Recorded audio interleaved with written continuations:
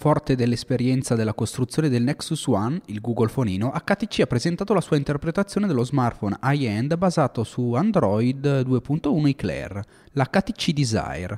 Simile nella dotazione di serie, adotta processore Qualcomm Snapdragon a 1 GHz e display capacitivo AMOLED da 3,7 pollici, ma si differenzia dal Google Fonino per il joystick ottico al posto della trackball e la personalizzazione software dell'interfaccia HTC Sense, che offre una serie di widget per personalizzare l'home screen con applicazioni, contenuti e social network già compatibile con Flash 10.1, punta a offrire un'esperienza web multimediale completa. Al primo contatto il terminale sembra essere molto fluido e reattivo e la qualità del display è una delle caratteristiche che balza subito agli occhi.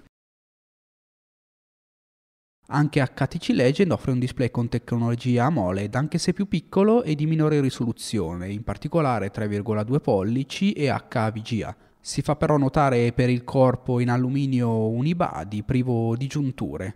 Anche questo terminale utilizza il sistema operativo Android 2.1 e va a raccogliere idealmente l'eredità dell'HTC Hero, richiamandone l'ergonomia ma sostituendo la trackball con il mouse ottico, come già visto sull'HTC Desire. Anche la dotazione di serie è leggermente inferiore e accanto alla connettività che rimane completa affianca un processore a 600 MHz.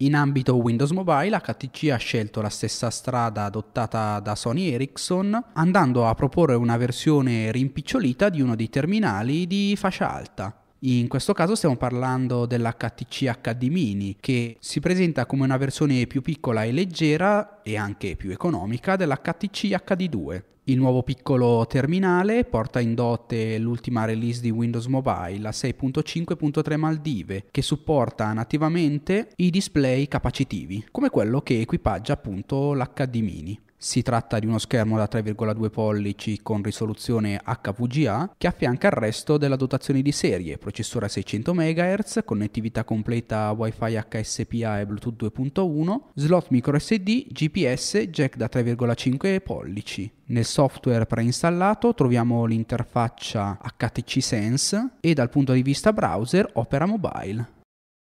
HTC Legend e HTC HD Mini arriveranno sul mercato verso la fine del primo trimestre dell'anno e andranno a rappresentare un'alternativa interessante nella fascia media di mercato.